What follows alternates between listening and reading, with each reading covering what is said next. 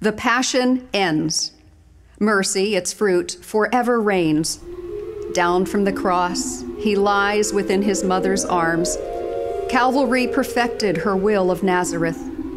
The Christ who, lifted up, bore openly the shame his mother takes once more alone unto herself.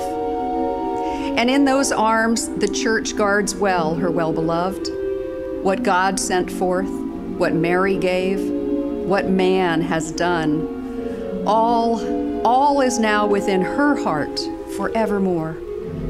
She holds him, sees and weeps, and in her tears adores. She cerement and ointment is, and tomb and myrrh, altar and priest alike, chalice and cenacle. The tabernacle door is gateway to the cross.